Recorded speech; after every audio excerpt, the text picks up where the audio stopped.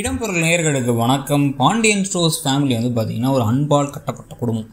ஆயிரம் பிரச்சனை இருந்தாலும் திடீர்னு வந்து அன்பை வச்சு கவர் பண்ணுவாங்க. அதுதான் வந்து இப்பயும் நடக்க போகுது அப்படிங்கிறது நமக்கு தெளிவாகவே தெரிஞ்சிருச்சு. கண்ணனும் ஐஸ்வர்யாம் எதிர்த்த வீட்டுக்கு வந்தது கஸ்தூரியோட பிளானாக இருந்தாலும் நாரதர் கழகம் மாதிரி தான் அது நடக்க போகுதுன்னு ஏற்கனவே நம்ம சொல்லியிருந்தோம். அதே தான் இன்றைக்கி எபிசோட்லேயும் வந்து பார்த்தீங்கன்னா கிளம்ப போகும்போது வந்து நான் போகிறேன் அப்படின்னு சொல்லிட்டு வெளில வந்து கத்தி கண்ணை சொல்லிட்டு போகிறதாகட்டும் இன்னொரு பக்கம் வந்து அத்தாச்சி வீட்டுக்கே வந்து ஒரு ட்ராமாவை போட்டு தலைகீழாக பேசி இல்லை இல்லை இப்படி பாரு இப்படி பண்ணிட்டானுங்க. இவங்களை பார்த்தாலே என்னால் தாங்க முடியல. அப்படி இப்படின்னு ட்ராமா போட்டாலும் அது யாரும் நம்பின மாதிரி தெரியல.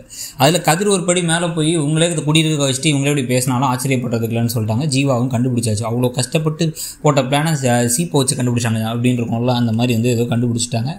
ஸோ இன்னொரு பக்கம் வந்து பார்த்தீங்கன்னா கடைசியாக தனமணி வேற பரவாயில்ல அவன் எங்கேயோ இருக்கிறதுக்கு ஏற்ற வீட்டில் இருக்கானே அப்படின்ன உடனே இவங்களுக்கு இன்னும் கடுப்பாயிடுச்சு. வீட்டிலே கொண்டு வந்து வச்சுக்க வேண்டியதானங்கிறாங்க கூட்டு வச்சு நல்லா இருந்தாங்க அப்படின்னா இன்னமும் கஸ்தூரி தச்சிக்கு அப்படி தலையே தொங்கி போயிடும்னு நினைக்கிறேன். அந்த அளவுக்கு சோகமாயிடுவாங்க.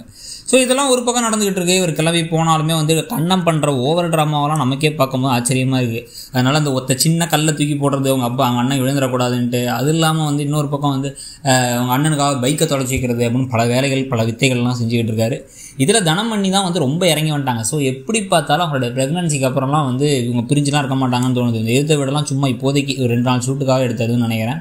ஸோ இப்போ அவங்க வாசலே நின்று வெயிட் பண்ணுறாங்க வெயிட் பண்ணோன்னே பத்து மணிக்கு தான் வராரு அப்படின்னோடனே அதுக்குள்ளே கதிரும் கண்டுபிடிச்சாங்க. இதுக்கு தான் தானே நீங்கள் தான் நிற்கிறாங்கன்ட்டு இதில் கண்ணை வேறு அங்கேருந்து நீங்கள் சாப்பிட்டாச்சா? நான் சாப்பிட்டேன். அப்படின்னு வேறு சொல்லிட்டு இருக்காரு. ஏதோ ஃபோன் பண்ணி பேசுகிற மாதிரி.